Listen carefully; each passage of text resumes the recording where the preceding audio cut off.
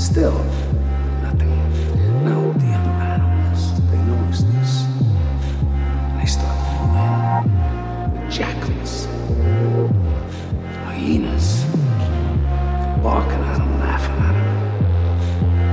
They nip his toes and eat the food that's in his domain.